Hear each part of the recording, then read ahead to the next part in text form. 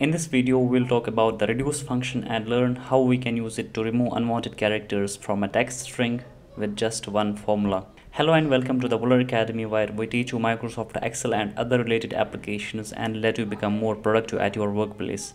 So here goes the problem which most of Excel users face at the workplace. You have got this list of names of employees which contain some extra characters like Mr., Miss, Doctor or this hyphen here or this junior or characters like these and you want to remove them. You want to replace all of them. So how will you do it? Well uh, most of you will use the find and replace feature of excel and use the find and replace for each instance of a distinct character which you want to replace. But you can also use a dynamic approach. The dynamic approach is to use the reduce function. So let us use the reduce function here the reduce function is an, a lambda helper function which takes uh, initial values and uh, an array and a lambda function and makes a calculation based uh, on the basis of those declared parameters. So the initial value is this value here. The array array is these extra characters which are there. These extra characters which are there in your text strings and then you define the lambda function for lambda function you will declare two parameters. What one is the text string another is the old text which you want to remove okay? Then you will use the substitute function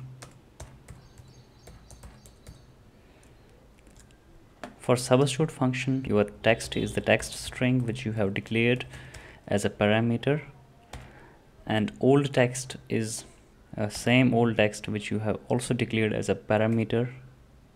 You will substitute this uh, old text with with a blank text string then close the substitute function also close the lambda function then close the reduce function. Hit enter on the keyboard and here you have this first name and last name extracted from uh, the text string now here for the in initial value instead of only entering a a2 as the initial value you will enter an array here as the initial value. The array will be this whole text string here. As soon as you enter hit enter on the keyboard excel spills values and as it's a dynamic array function it returns an array of values. Now after that you will notice there are some uh, blank spaces here. At the beginning of some of the text strings or at the end of the text strings. So to eliminate those text strings you will use the trim function here. You will put whole this uh, reduce function within the trim function then hit enter on the keyboard and here you have this value here. So this is how you can extract first name and last name from this uh, text string which contains some extra characters like name titles or some special characters. So this is the process. Now here as you can see I have uh, typed this uh, these extra characters or st strings manually here. You can also enter them here. You can hard code them at this place here so I can directly enter an array here. My array is the first is Mr comma there is Miss also comma doctor is also there comma junior is also there.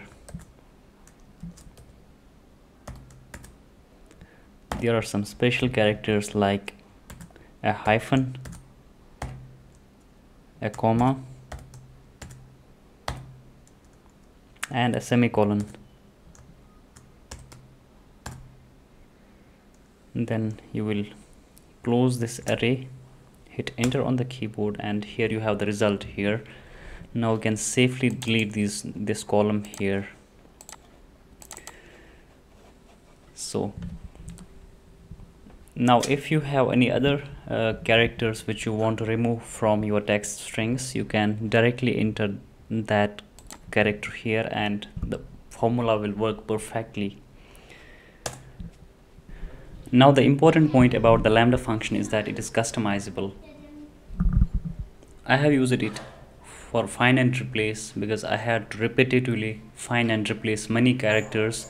So it did the task for me in just one formula.